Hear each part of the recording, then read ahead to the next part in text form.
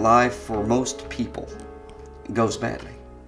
I was once asked, um, why do you never have happy endings? And I said to the person who asked me that, when's the last time you experienced one?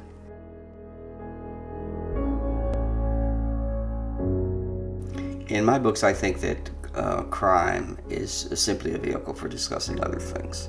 It is the catalyst in some ways for other forms of exploration that have nothing to do with finding out who done it.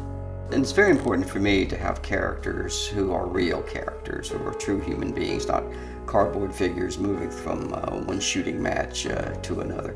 I don't care who done it if I don't know to whom it was done and why it was done and the consequences of it having been done.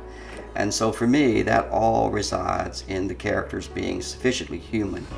My process never involves an outline, that allows the characters literally to do what they want to do.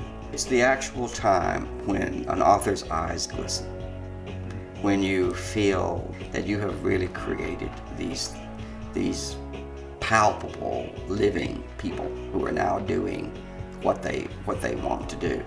My goal as a novelist is to have the reader feel at the end of my book what someone in a restaurant would feel at the end of a meal that they have had the they have had the hors d'oeuvre, the entree, and and the dessert, and they have gotten a full full meal from having read that book.